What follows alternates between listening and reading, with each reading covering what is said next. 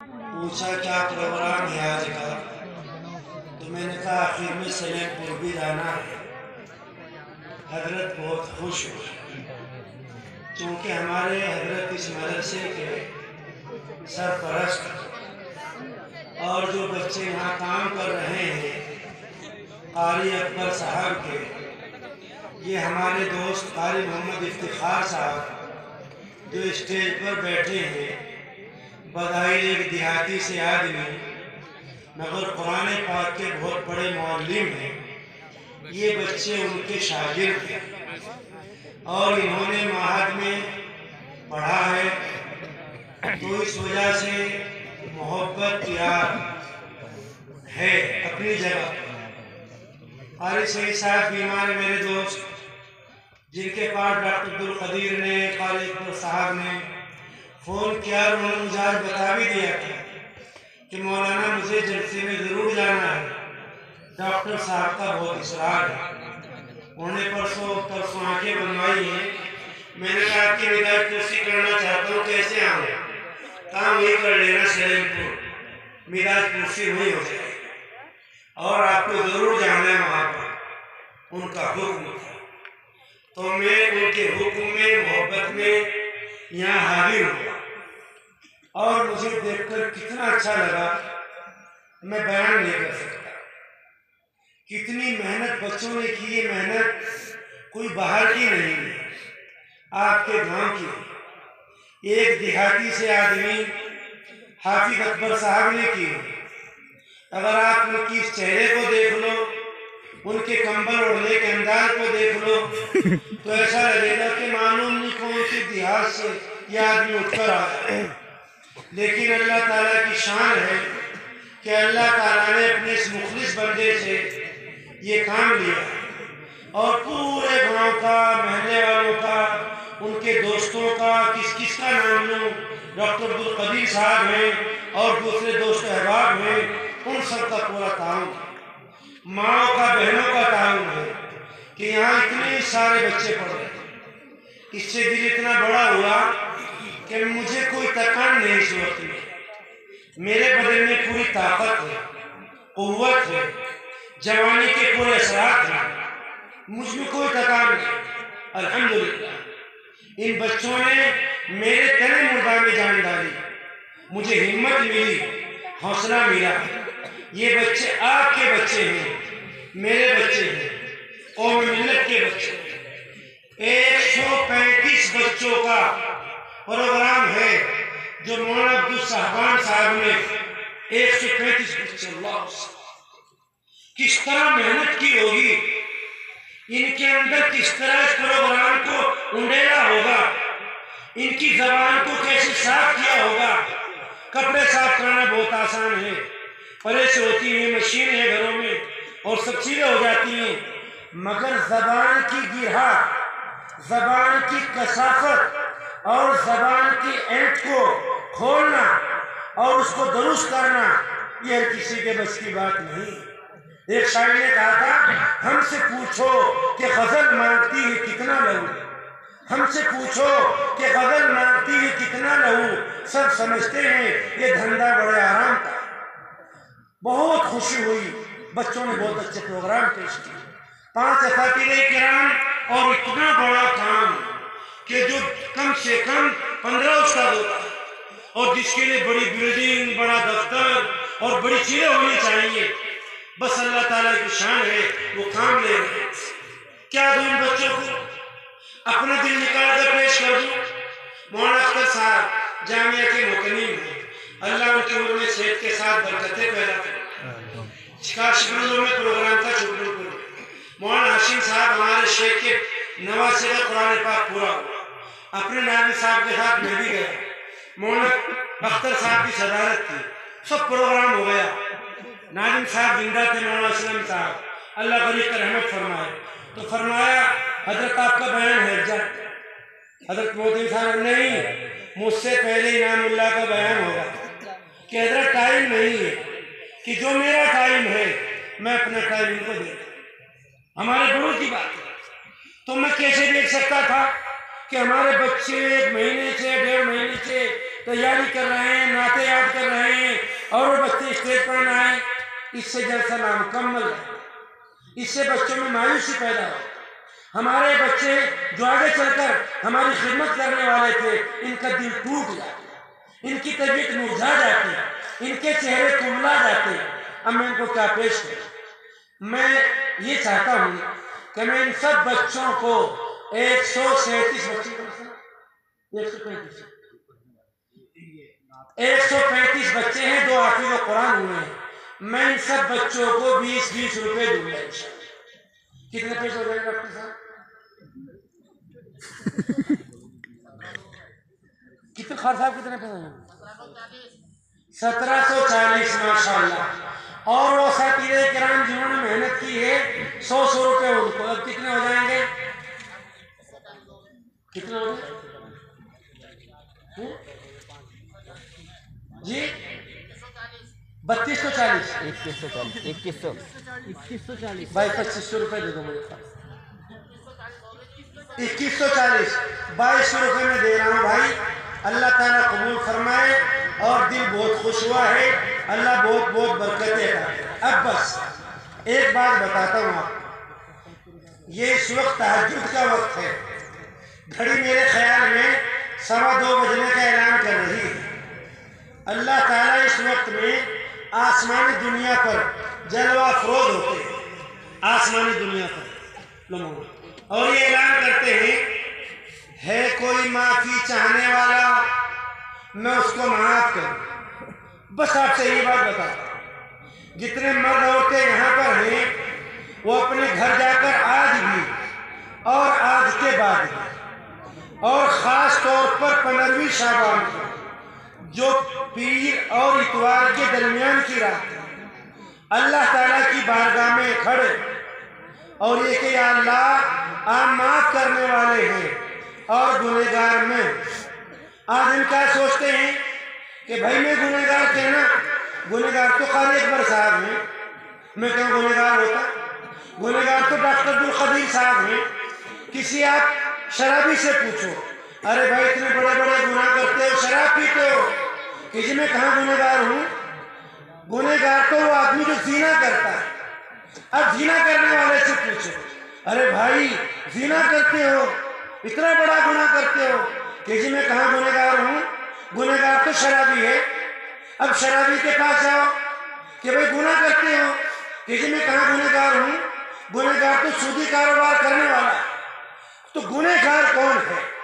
मुझे आपको यह सोचना है कि गुनेगार में आज की रात की तन्हाई में आप घर जाकर और रोज़ाना आप अल्लाह की बारगाह में अजान से आठ घंटा, पौन घंटा पहले उठकर अल्लाह की बारगाह में अपने गुनाहों की माफ़ी चाहे। चूँकि अल्लाह ताला आसमानी दुनिया पर है और ये ऐलान करते हैं, है कोई माफ़ी चाहने वाला कि मैं उसको माफ़ करूँ? और एक बात और सुनो। अगर कोई बंदा अल्लाह का महबूब बनना चाहता है, वो आदमी माफ़ करे भी और माफ़ी चाहे। अब परसों शब बारात है। लोग बहुत से काम करेंगे, इबादत करेंगे, नमाजें पढ़ेंगे, कुरान पाक की तिलावत करेंगे। एक बात सुनो। अल्लाह ताला माफ़ी देने के लिए अर्श से पहले आसमान पर आ गए पहला जो अर्श आसमान है। ये हमारी छत है। ये हमारा मकान है। अल्लाह ताला हमारे मकान की छत पर आ अब गौर करो, इतनी बड़ी जात जो माफ़ करने के लिए अर्श से अपने पहले आसमान पर आ गए और ऐलान करते हैं, मैं माफ़ करना चाहता हूँ, कौन आदमी माफ़ी चाहे? अगर तुम अल्लाह के बंदे हो और अल्लाह की बलिया बंदिया तो जिनसे आपके ताल्लुकात खराब हैं, लड़ाई है, दुश्मनी है, अदावत है, किसी मामले पर आपस में नफरत आज या कल, या शब बारात में, असर की नमाज़ के बाद, जोहर की नमाज़ के बाद, सूरज डूबने से पहले पहले उनके घर जा बहन, मैंने गलती की थी, मैं उसकी माफ़ी चाहती भाई, मैंने कोताही की थी मैं उसकी माफ़ी चाहता हूँ। माँ, मैं हाथ जोड़कर माफ़ी चाहता हूँ। मैंने बदतमीजी की थी। बीवी अपने शोहर से गए मैं माफ़ी चाहती हूँ। आपने, मैंने आपके साथ ज्यादती की। शोहर अपनी बीवी से कहे, मैं माफ़ी चाहती हूँ। मुझे माफ़ कर दे। पड़ोसी पड़ोसी के घर जाए और माफ़ी चाहे कि मुझे माफ़ कर दे। गैर मुस्लिम भाई से आपका ताल्लुक खराब है, उनके घर जाए और माफ़ी चाहे। हदीस पाक में आता है। कि प्यारे नबी सल्लल्लाहु अलैहि वसल्लम से उनकी चहेती लाडली बीवी ने पूछा अल्लाह के रसूल, अगर मैं शब कदर पा लूँ तो क्या मांगू तो आपने फरमाया, एक दुआ मांगो, वो दुआ को बताता हूँ। अल्लाहुम्मा इन्नका अफुव्वुन तुहिब्बुल अफ़्वा फ़अफ़ु अन्नी। अय अल्लाह, आप माफ़ करने वाले हैं, माफ़ी को पसंद करते हैं। अल्लाह, मुझे माफ़ कर इसका मतलब ये हुआ, जो बंदा माफ़ी चाहेगा और माफ़ करेगा, वो बंदा अल्लाह का महबूब और जो बंदा माफ़ी नहीं चाहता और माफ़ नहीं करता, वो एक हज़ार की तस्वीर ले ले दानों की, हर वक्त वो करता रहे, बिस्मिल्लाह बिस्मिल्लाह, और उसके सराहने बहुत सी किताबें रखी हुई हों, अपनी बहन को माफ़ ना करे, अपने बेटे को माफ़ ना करे, अपनी भाई, अपने भाई को माफ़ ना करे, अपनी बीवी को माफ़ ना करे, वो आदमी कहीं से कहीं तक अल्लाह ताला का महबूब नहीं हो सकता। हज़रत हसन खाना खा रहे थे बैठे हुए एक गुलाम खाना खिला रहा था। शोरबे का गरम गरम कटोरा उनके कपड़ों पर बिखर गया। हज़रत हसन को गुस्सा आ गया तआला को। खशमगी आँखों से उस गुलाम को देखा। उस गुलाम ने कहा, वल कादिमीन अल गईज़। लोग वो हैं जो गुस्से को पी जाने वाले हैं। कहा, जाओ भाई, मैंने गुस्सा खत्म किया। आगे पढ़ा, वल आफीना अनिन नास। और वो लोग हैं जो लोगों को माफ़ करने वाले हैं। फरमाया, जाओ, मैंने तुम्हें माफ़ किया। फिर आगे पढ़ा, वल्लाहु युहिब्बुल मुहसिनीन अल्लाह ताला एहसान करने वालों से मोहब्बत करते हैं। फरमाओ, जाओ, मैंने तुम्हें आज़ाद कर ये है माफ़ी आज हाँ हर आदमी सोचता है, मैंने कोई गलती नहीं की है। गलती फुलाने की है। हदीस पाक में आता है, अगर कोई आदमी सुलह कर ले इसके बावजूद कि वो गलती पर नहीं है, सुलह कर ले, झगड़ा खत्म कर दे, इसके बावजूद कि वो गलती पर नहीं है।